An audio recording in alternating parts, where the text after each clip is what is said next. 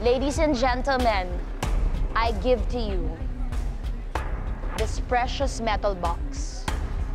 And inside is pre-colonial jewelry that experts believe belong to Hara Urdua of Tawalisi Wango.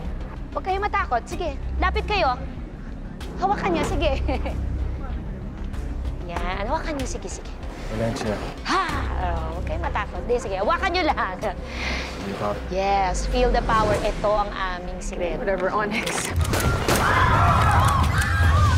ano nangyayari? Bakit, bakit? Ano? Huwag kayong lalapit!